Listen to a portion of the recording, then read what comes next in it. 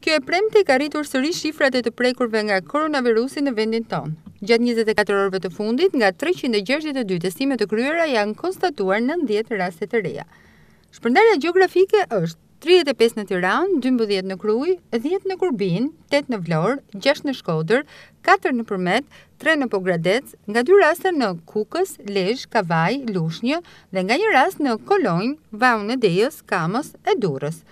Po gjatë njëzet e katër orëve të fundit, raportohet se kanë ndërruar jetë tre persona, një pesëdhjetë e shtatë vjeçar nga Shkodra, një gjashtëdhjetë e pesë vjeçar nga Tirana dhe një shtatëdhjetë e gjashtë vjeçar nga Durrësi, me disa sëmundje bashkëshoqëruese kanë humbur jetën në spitalin infektiv.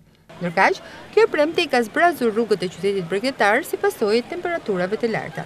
Përsa i përket situatës aktuale të Covid nëntëmbëdhjetë, duket se vatrat më të nxehta të infeksionit mbeten institucionet shtetërore. Më i fundit është ai i Autoritetit Kombëtar Ushqimor Durrës ku një inspektor ka rezultuar pozitiv. Po kështu, tre punonjës, pjesë e Task Forcës, të cilët ushtrojnë kontrolle mbi subjektet tregtare mbi respektimin e protokollit të sigurisë, janë konfirmuar si të prekur nga koronavirusi. Në Durrës, numri i të infektuarve aktivë është dyqind e nëntë, ndërsa dymbëdhjetë persona kanë humbur jetën.